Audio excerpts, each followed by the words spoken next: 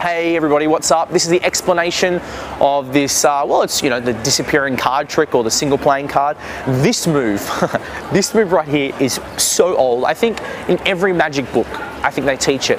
But the way I do it, I made my own little presentation and spin on it so it works for me. This is what it typically looks like. So uh, it's, it's, it's a, a move they put in manipulation, manipulating cards, and the move looks like this. So just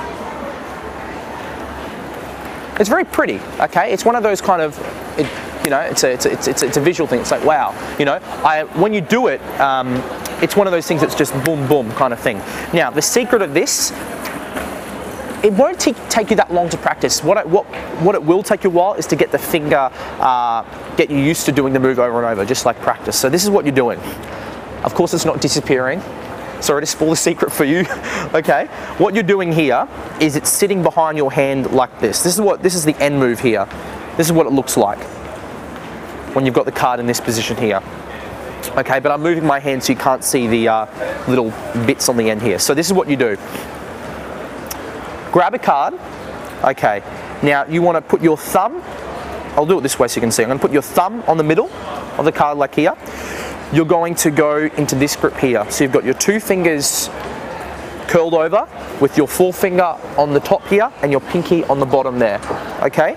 Then what you're doing here, it's you're more it's like um, sort of flicking it back. That's what you're doing. So holding it here, putting your going from here, fingers go here, and as these turn back. So once once again, once again, use this video to rewind. You can do that, which is goes here.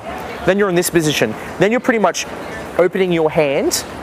As you open your hand, you're connecting with these two fingers which are holding the card. They bend down and they all come together like that.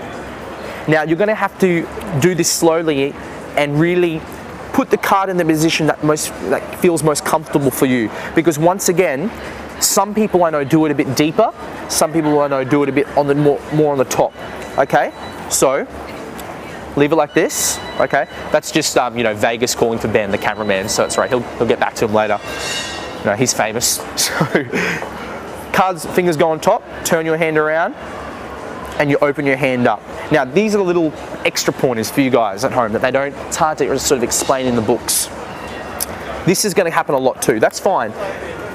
Just maneuver it so you know, it's comfortable. But when you're like this, that's fine. If you're doing it quick, because what you're doing, you're doing the cover of, depending what you want to do. If you want to chuck the card up saying like that, okay? It's, it's pretty hard to see when you're moving your hand. If you keep your hand like this, that's obvious, but you don't keep your hand like that. Because if I do this,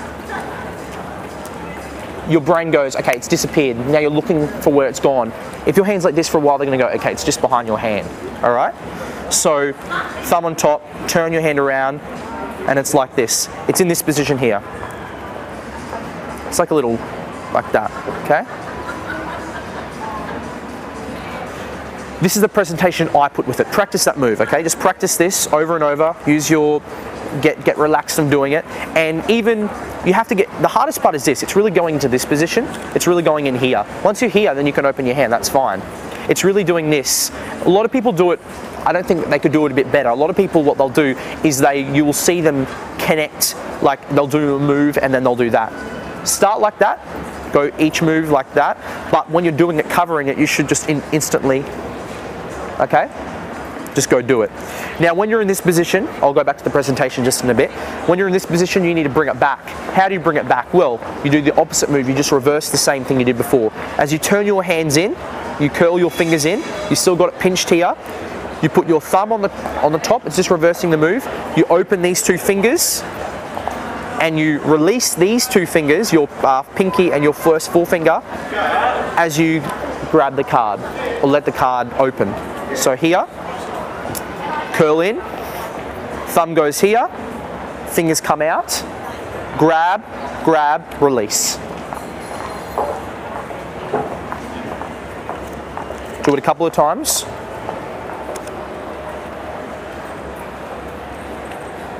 And once you get, once you get, uh, that's going to happen a lot too.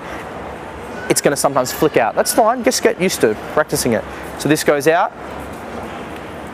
and you're holding it, you can hold it with your fingers or like this. Once you start getting good at it and you can do it quick, then you can even start doing this and catching it with your two fingers on top. But I recommend do this and then do that, okay? Now quickly the presentation, I do it a bit differently.